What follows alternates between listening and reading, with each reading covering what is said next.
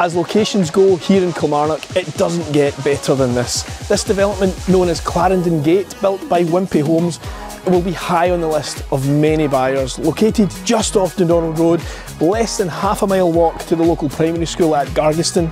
Here we have a four bedroom executive detached villa. Have a look around number 10, Brailsford Crescent.